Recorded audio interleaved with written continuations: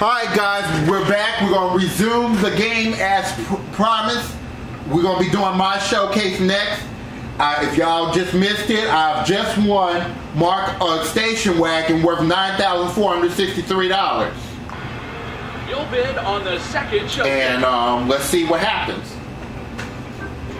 Your showcase begins with a new hot dog car. Okay. This hot dog push cart in red and white two-tone features roll storage compartment, service shelf with push bar, and 6.5 foot heavy-duty vinyl umbrella. And you'll love this adorable family of teddy bears. Special effects cute and cuddly family of bears 24K Polar Pop Luxury Plush Super Soft Jesse, Jethro and Brad from Special Effects.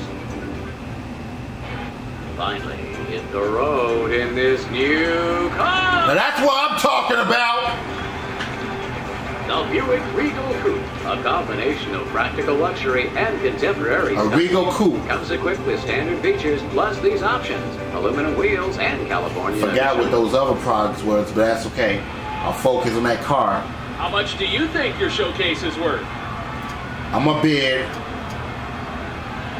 14000 $200.